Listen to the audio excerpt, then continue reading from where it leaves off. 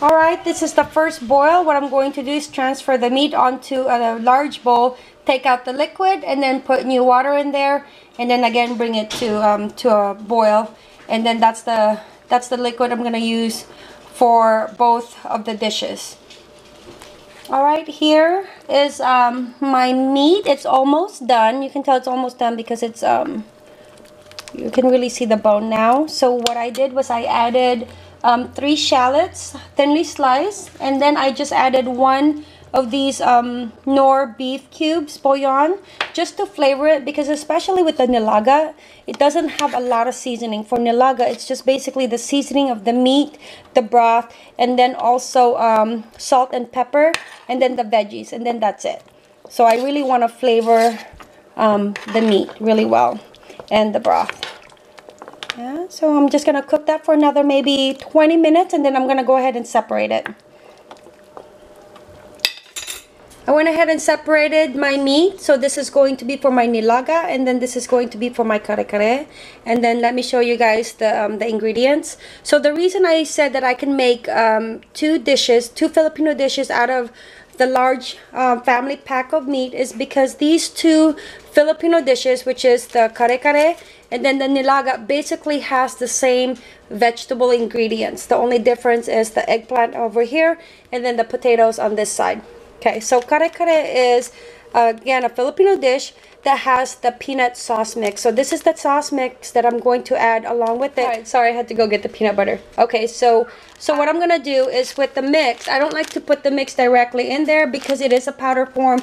If you don't mix it thoroughly throughout the cooking, then um, you get like little clumps, so I don't like that. I'll just get some of the hot liquid, put it into a small container, pour this mix in there and this mix is very simple. Ingredients it says right here peanuts rice flour cane sugar salt and annatto powder. Annatto powder is just a like a food coloring that we use because kare kare will have this like um deep like orange color. That's all it is. It's just adding um color to it. So then I'll put in a quarter cup of the creamy always use creamy. Don't use the um, the crunchy peanut butter. And then so I'll have that to the side. I'll mix this together really well and then I'll add it in here before I add on the, the veggies because these veggies really cook up there fast. And then this is um, my eggplant, green onions, and then the bok choy for this. And then for the nilaga, um, also with the green beans, I'll add some to this. The nilaga only has the green beans, potato, the bok choy, and then I'll add this um, green onion last. It just adds a bit of a nice um, color to it towards the end. Alright, with the nilaga dish, I went ahead and added the green beans. Still pre-washed it. And then also the, um, the potato. And then I just diced it in small chunks so that it um, cooks faster. Stir that in. Um, let both of them get softened because the only thing that I need to add to this will be the bok choy. This cooks within like 2-3 minutes. Alright, and here is the kare kare powder.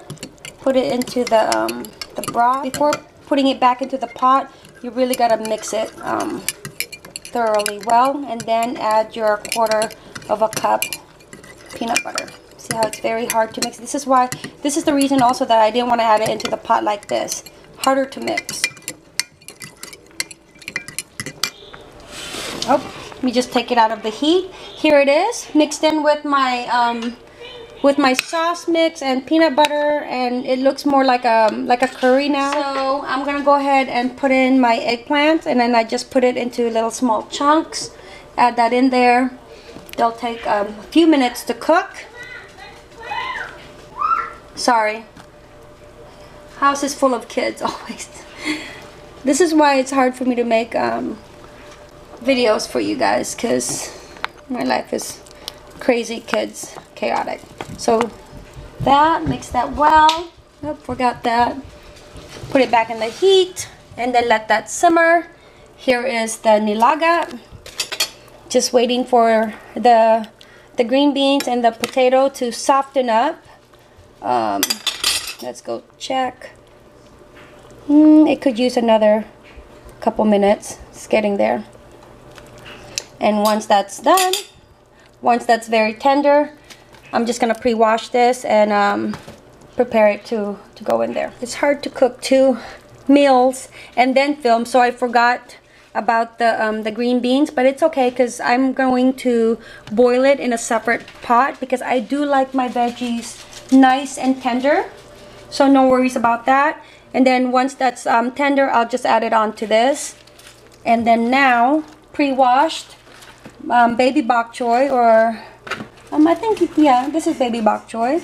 I like the smaller ones compared to the the big ones because the big ones tends to have more of these white part than the leaves and I really like the um, the leaves. So I don't like to cover uh, if you guys notice when I'm cooking because when you cover especially with um, greens then it turns into like a darker color compared to um, a bright green color so I tend not to cover and then this is it. So what I'm going to do is just wait um, until maybe like three five minutes uh, for this one. And then I'm just gonna chop up the green onions and then sprinkle it um, sprinkle it on top just as like a garnish.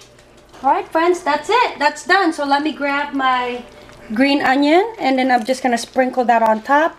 I've already turned off the stove but because I do have um, electric stove it's going to keep on cooking for a little bit longer. So that's perfect. Okay? And then my beans over here is cooking until tender and then like I said I'm gonna add it on to here. All right. Green beans is almost tender tender. So I'm gonna add that in there and that's gonna be perfect with the um, cooking of the eggplant.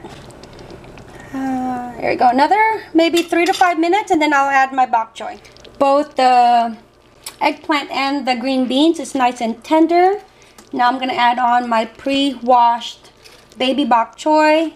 Again, just about three minutes and it's done. I'm actually going to turn, a, turn off the heat in about two minutes or so because it's still going to be cooking. And that's it, friends. Very simple. Very, very, very simple.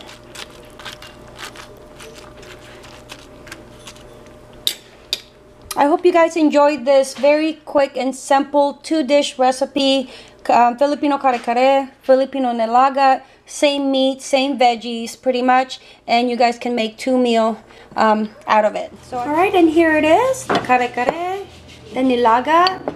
Hope you guys enjoyed this uh, video of two simple uh, Filipino dishes, kare-kare and the nilaga. As always, thank you guys for watching A Simply Simple Life. Mahalo!